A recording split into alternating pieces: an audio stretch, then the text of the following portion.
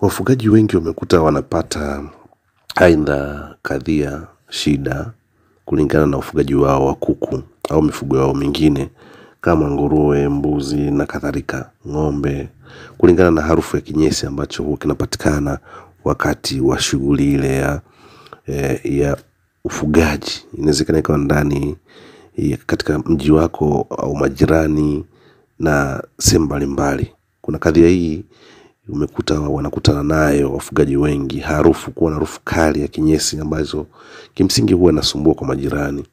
Sasa kuna suluhisho ambalo nimekupa hapa, lakini kumbushe tu usahau kusubscribe kupitia YouTube channel na hii unaangalia ni Agomba TV. Nafundisha jinsi kutengeneza chakula cha kuku wa zote.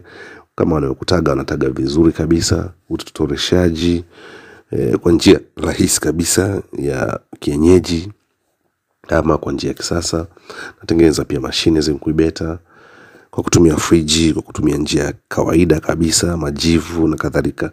Kwa kuna vitu vingi sana ufugaji kwa ujumla, namna kuwapa dawa kuku wetu waweze kuwa vizuri bila kuna shida. Vyote tunafundishana vizuri kabisa kupitia online hapo ulipo. Namba ya simu ni sifuri saba sita mbili tisa tano sita tatu sita sita na jina ni Deogratias Yagomba na unaangalia ni Yagomba TV.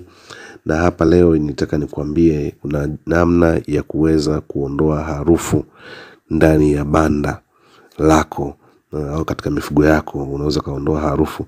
Kwa kawaida ni kwamba e, ndani ya banda kunakuwepo na mchanganyiko wa e, vitu mbalimbali ambavyo vinasababisha kuwepo kwa harufu na hii itategemeana na mazingira ambayo e, unayokuwa unafuga sio chini ya vitu mia moja hamsini ambao ni bakteria pia ambao wanazalishwa na kuweza kusababisha hali hiyo. Na hii inategemeana aidha ulishaji aidha pia ku, kupitia maji.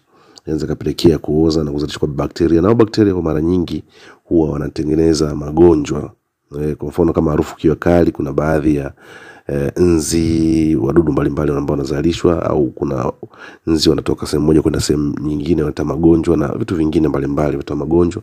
Kwa hiyo inafanya wewe mfugaji kupata hasara kwa sababu utakuwa unatibu kuku wako mara kwa mara kwa sababu ya chanzo tu ni harufu mbaya ambayo inatoka katika kinyesi. Sasa kuna suluhisho ambalo nimeweza kukupa zipo njia mbalimbali kuna wale ambao watahitaji kujifunza tutafundisha na njia nyingine lakini hapa nakupa njia moja tu ambayo itaweza kusababisha wewe kuweza kuondoa harufu kwenye kinyesi ndani ya banda lako harufu iweze kuisha kabisa ama kupungua kwa kiwango kikubwa.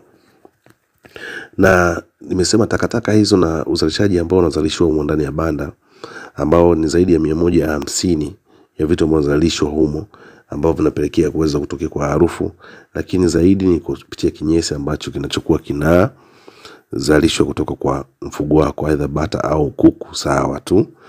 Sasa kwa kawaida kuna kitu kinatoa am, amonia hasa hicho ndo kinazidi kinasaidia kinasababisha kwa kiwango kikubwa sana kutokea katika hali hiyo hasa kama kikiwa kiwango hicho cha takataka zimezidi au uchafu umezidi ndani ya banda na bakteria wengine ikiwa imeshazalishwa sasa kuna njia mbili ya kuweza kuondoa aidha kwa njia ya ulishaji ama kwa njia ya maji namna ya kufanya hicho kinyesi kisiweze kutoa harufu. Sasa kuna njia ya kwanza ambayo ningependa kukupa hapa mtazamaji wa Yagomba TV ni njia ya kupitia eh, baking powder. Nadhani unafahamu baking powder ni hii ambayo tunatumia kwenye maandazi eh, kuweza ku, ku, ku, kutengeneza maandazi. Hiyo ndio baking powder ambayo hii kimsingi kuna materials mbalimbali ambayo yamewekwa mle, kuna chemical mbalimbali, kuna ingredients zimewekwa ambazo zingine muhimu kwa kuku, zina stimulate production, yani zinaongeza uzalishaji lakini vile vile pia zina kazi nyingine sitaki kuongelea sana huku lakini nataka niongelee katika upande wa uh, kinyesi kwa maana kwamba kama kuku akila na ikiwa imechanganywa baking powder kwenye mchanganyiko wa chakula basi inapelekea kuweza kupunguza ile asidi ambayo inayokuwa inazalishwa ndani ya kinyesi ambayo ndio inasababisha kutoka kwa harufu kali ya kinyesi.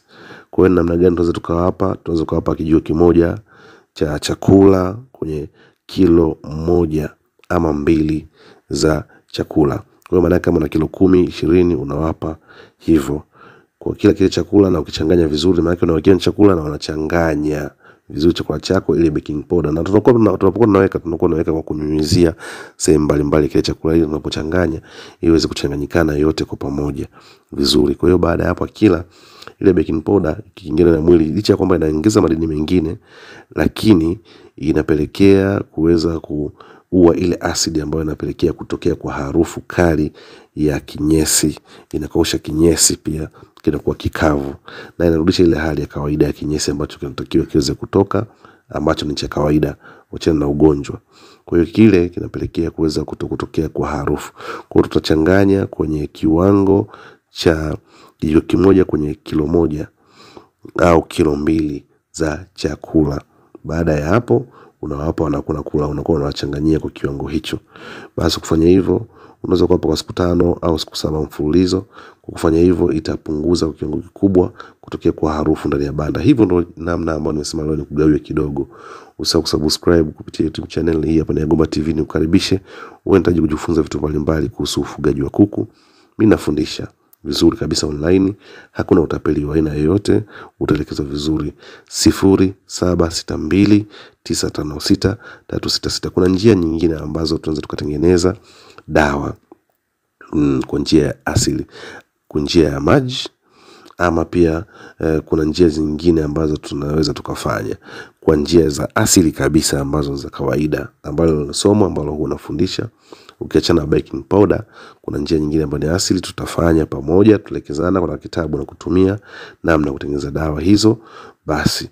Lakini pia sio hiyo tu ya kuondoa harufu, kumekuwa kuna dawa ambayo ukitaka kutengeneza dawa ya kuku ya ugonjwa amba- ambayo ni antibiotics. Sasa hiyo ehe, ambayo ni asili kabisa antibiotics, naweza kuelekeza na ukatumia na kuku wako wanapona vizuri bila shida yoyote, au kama ni bata au kama ni kanga wanapona vizuri.